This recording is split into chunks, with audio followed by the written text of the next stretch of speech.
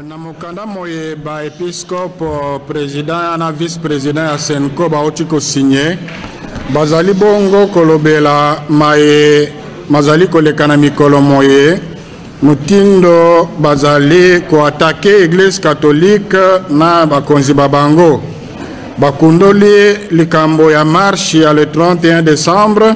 Marshe moye mosalemaki na komite laïque ya coordination oyo endimami na nzela ya mibeko ya eklesia lokola association na diocese ya kinshasa.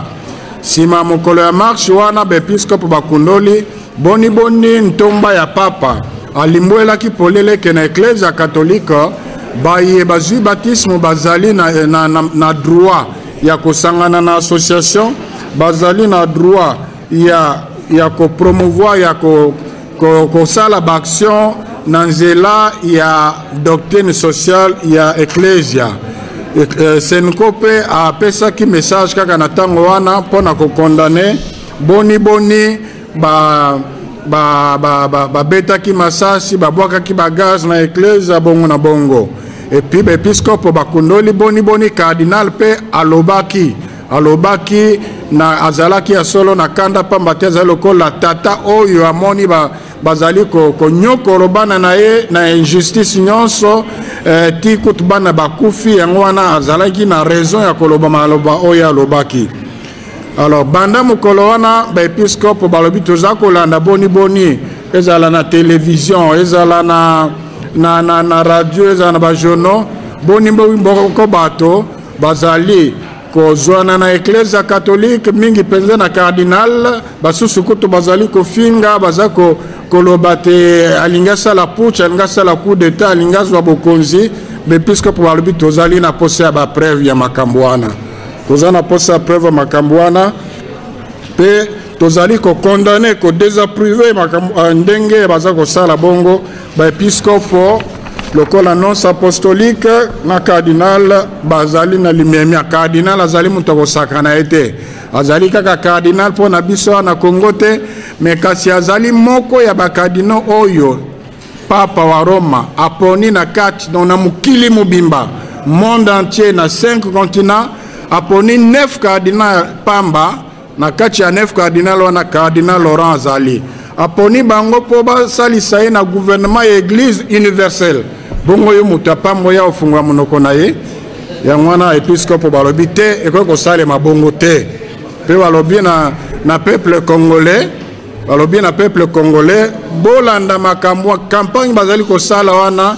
Dabord bobosana te ke bato bazali kosala campagne wana. Ba, ba, ba, eza bato oyo baza kutu koyoka mpasi moke te na, na, na, na, na, na souffrance boza na yango. Yango wana botikala kotelema botikala miso ya kofungola bopesa nzela te eh, na pacifiquement na, na, na boboto ke groupe moko ya bato bakanga bokonzi to mpe bakɔta na bokonzi na nzela oyo eh, bakamata bokonzi na nzela oyo ezali ya demokrasie mpe ya constitution te na mokuse nde wana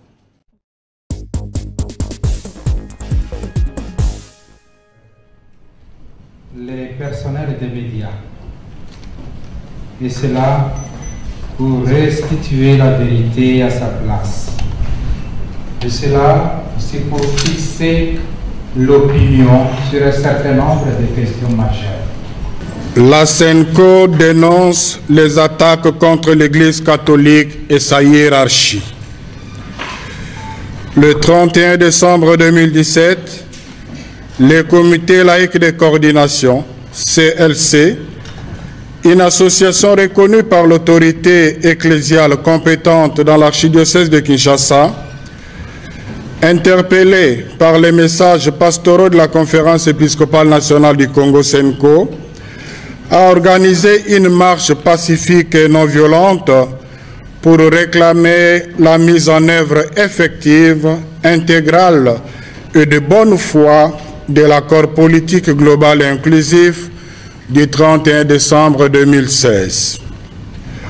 Au lendemain de cette marche pacifique, suivie également dans certaines provinces, le nonce apostolique a publié un communiqué rappelant à l'opinion publique le droit de chaque baptisé catholique de se constituer en association et de promouvoir des initiatives qui soient en harmonie avec la mission de l'Église. La promotion de la justice sociale et la défense des droits civils et politiques des citoyens font également partie de la doctrine sociale de l'Église.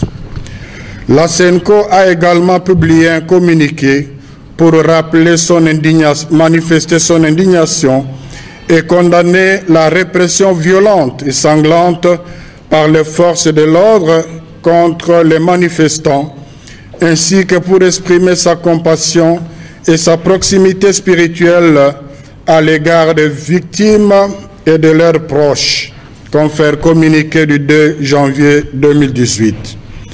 À son tour, son éminence Laurent Cardinal Monsengo, dans l'état d'âme d'un père face au mauvais traitement infligé à ses fils et à ses filles, dont certains sont morts, a avec raison élevé le ton pour fustiger les auteurs de ces actes insupportables. Depuis lors, l'on assiste à une campagne d'intoxication, de désinformation, voire de diffamation, orchestrée même par des responsables des institutions de la République contre l'Église catholique et sa hiérarchie. Le peuple congolais en est témoin. C'est inacceptable. Cette campagne de mépris vise particulièrement l'autorité de son éminence Laurent Cardinal Monsengo, considéré à tort comme instigateur des actions visant à déstabiliser les institutions en place et à vouloir s'emparer du pouvoir. Nous exigeons des preuves à ces graves accusations portées contre sa personne. La SENCO désapprouve la diabolisation volontairement dissillée à l'endroit de son éminence le cardinal, archevêque de Kinshasa et membre du conseil de neuf cardinaux choisis par le pape François pour le gouvernement de l'Église universelle. Elle lui réaffirme son soutien et total et sa proximité. Aux prises de position de la SENCO, certains opposent le principe de laïcité de l'État congolais, d'autres prônent la notion de neutralité de l'Église.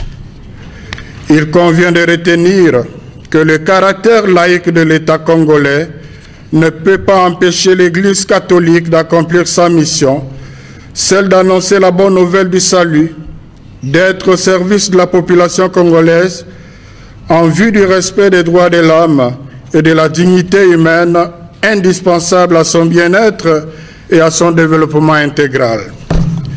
En effet, l'Église qui, par sa nature, a le droit d'intervenir dans les questions de foi et de mœurs, peut prendre position en matière politique en vue d'exercer sa sollicitude et ses responsabilités à l'égard de l'homme qui lui a été confié par le Christ lui-même.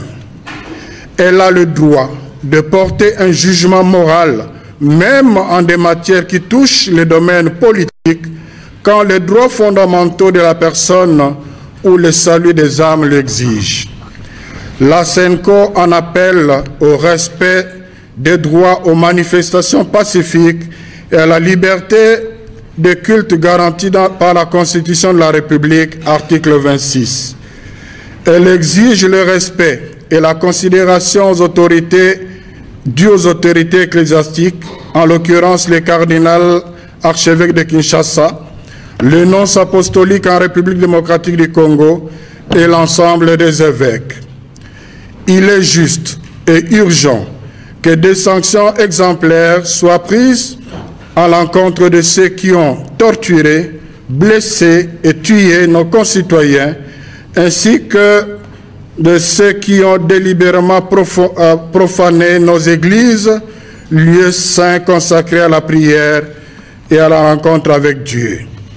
La SENCO dénonce également toute tentative de division de l'épiscopat congolais orchestrée à des fins politiciennes. L'épiscopat congolais ne peut se diviser ni être dédoublé comme les partis politiques. Partageant les joies et les peines de leur peuple, les évêques membres de la SENCO restent solidaires les uns des autres dans une communion effective et affective. Nous demandons au peuple congolais de ne pas se laisser influencer par cette campagne dont les auteurs ignorent superbement sa souffrance. Nous l'invitons à demeurer debout et vigilant, à prendre son destin en main et à barrer pacifiquement la route à toute tentative de confiscation ou de prise de pouvoir par des voies non démocratiques et anticonstitutionnelles. Que Dieu bénisse la République démocratique du Congo et son peuple. À la signature, Son Excellence Monseigneur Marcel Utembitapa, archevêque de Kisangani, président de la SENCO, Son Excellence Monseigneur Fridolin Ambongo Besungu, archevêque de Mbanda Kabikoro, vice-président de la SENCO. Je vous remercie.